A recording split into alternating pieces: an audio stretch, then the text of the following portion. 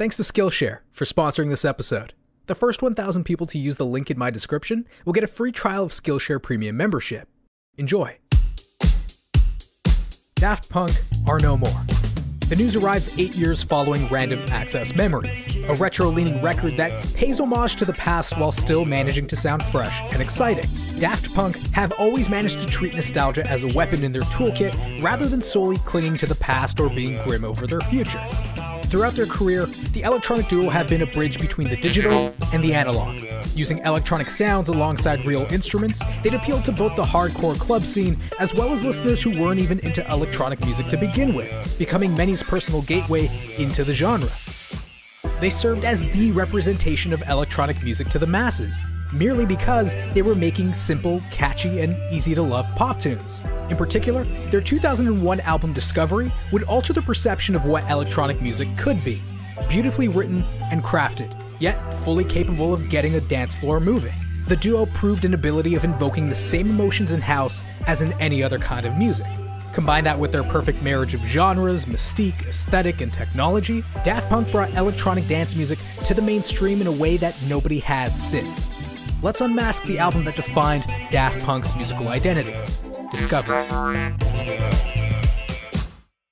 The electronic project began as the brainchild of two men, Thomas Bangalter and Guy Manuel de Homem Christo. The pair's first foray into the world of music came with their failed punk rock project, Darlin'.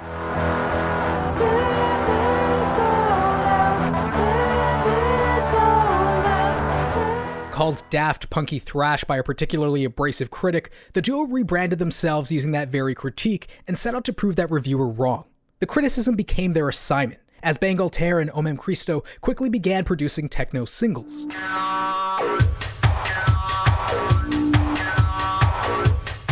After about five months, they'd compile the tracks for the release of Homework.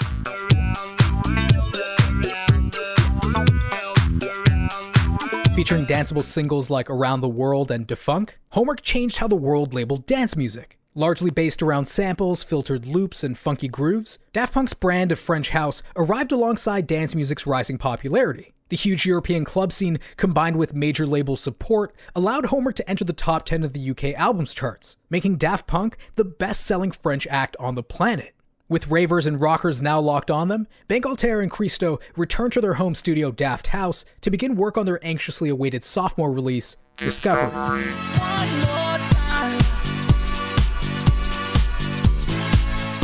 Where Homework featured tracks with a single sample or synth line over a house drum pattern, Discovery built a formula of layering a number of samples and taking further inspiration from 70s and 80s disco and funk. The bombastic danceable opener One More Time was the first track to be completed and reorganizes a sample by Eddie Johns in a very interesting way.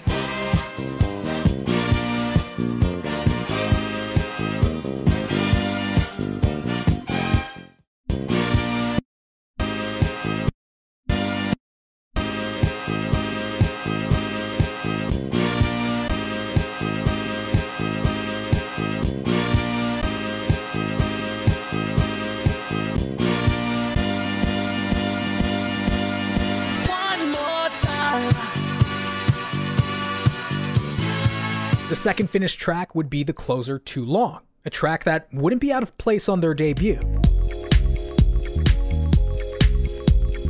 With the album's bookends established, Daft Punk decided that this album wasn't just going to be 14 house tracks like Homework had been. Discovery would be much more polished and carried a synth pop adjusted style, a decision that would surprise early fans. The two had the idea to capture the innocence of their childhood in their music, projecting innocence and fun while avoiding overly judging or analyzing their arrangements. The loud tolling church bells of Aerodynamic plunge the listener into a synth heavy digital cathedral. Later showing off a hard rock riff reminiscent of ACDC's string tapping Thunderstruck.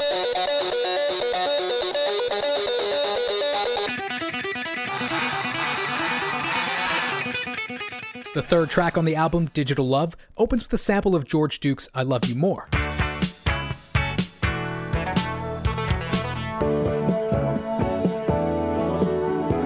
Adding to the theme of innocence and childlike love, while also showing off the heavily vocoded vocals that would further cement Daft Punk's robotic image.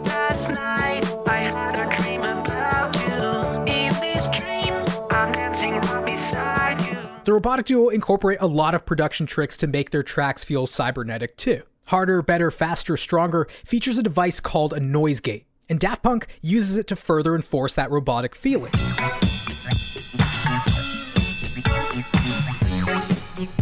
The drums are heavily gated, cutting off much earlier than an ungated drum kit would. It creates this illusion of a not quite human, not quite robotic drummer behind the kit. Departing from the upbeat, dance heavy tone of the first five songs, we venture through some down tempo and introspective tracks. Songs like Night Vision resembled 1970s balladry.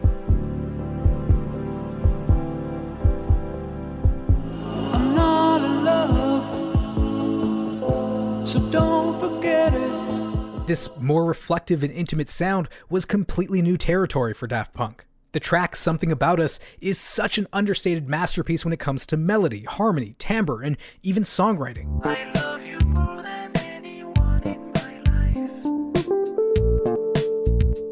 It acted as a glimpse into the duo's future, mm-hmm. as their next two studio records would be filled with these kinds of cozier tracks. Of course, the second half of the album still has tracks that are unequivocally Daft Punk, like the vocal sampling on Superheroes. Voyager's funk inspired bass line.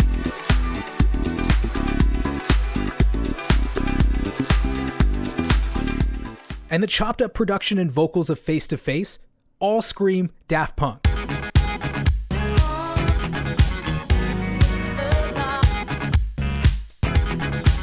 Released in March 2001, the album received generally positive reviews, receiving two Grammy nominations and charting in 14 countries around the globe.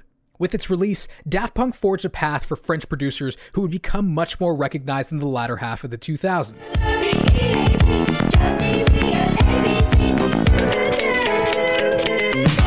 Modern EDM acts began donning masks inspired by the French robots, and their blending of genres saw the rock kids and the electronic kids playing nicely.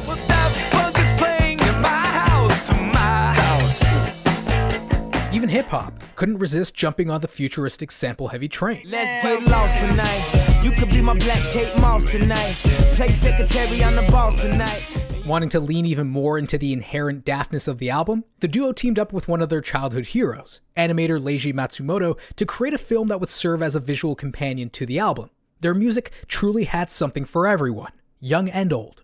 Beyond music, Daft Punk's Discovery era began reshaping the way people consumed music. Every copy of the record came with a membership to Daft Club, an online forum where fans gained access to exclusive content. Taking advantage of the internet, the Daft Club established a direct connection between artist and fan. It laid the groundwork for independent artists, content creators, and services like SoundCloud and Patreon. 20 years on, Discovery is looked at as one of, if not the greatest collection of tracks from Daft Punk, and a gold standard in electronic music.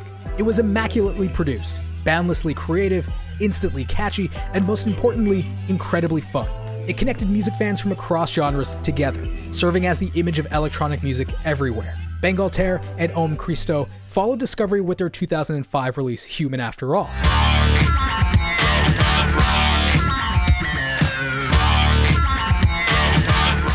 A two year tour ended with the release of their epic live album Alive 2007.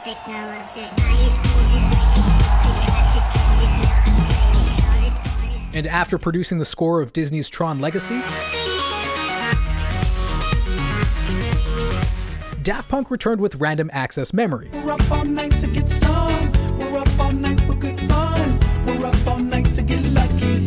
a love letter and celebration to music that saw them step away from their sample heavy style in favor of collaborations with an array of artists across decades and genres of music. Following a few production credits, hype for another Daft Punk record remained.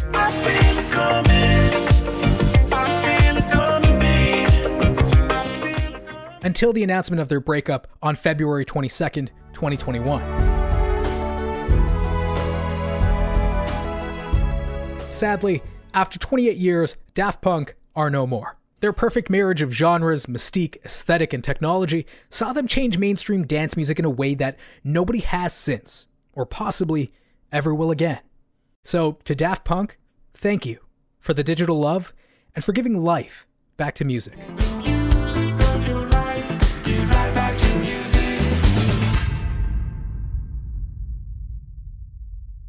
If you've been following my channel for about the last year, you'll notice that my design skills have gotten much better. A lot of that comes from practicing or trying to emulate other designers and their work. But more recently, what's been inspiring my designs are actually user interfaces, websites. Where graphic design is usually a flat 2D image, today's web pages are living and dynamic designs. Rich Armstrong has a class on the basics of web design layout that covers positioning, depth management, margins, padding, and a ton of other new techniques that I wouldn't have really considered using before. You can try out the class by using the first link in the description below. Whether it's graphic or web design, animation, or even some audio production tips, Skillshare has always been a resource that's helped bring my skills to the next level. If you don't know, Skillshare is an online learning community with thousands of inspiring classes for the creative and the curious. It's made specifically for learning, meaning there's no ads and they're always launching new classes to help add to your personal toolkit. And it's less than 10 bucks a month with an annual subscription. But if you want to try Skillshare out beforehand, the first 1000 Middle 8 viewers to use the link below can get a free trial of premium membership. So try it out. Explore new skills, deepen existing passions, and just get lost in creativity with Skillshare. Thanks for watching, ladies and gents. If you enjoyed this video, give it a like rating. If you loved it, share it with a friend, subscribe, and be sure to hit that bell so you're notified of when the next episode goes live. Support us on Patreon and follow us at More Middle 8. Tell me, what's your favorite Daft Punk album? Let me know your pick in the comments below. But that's it for me. Again, thanks for watching and keep listening.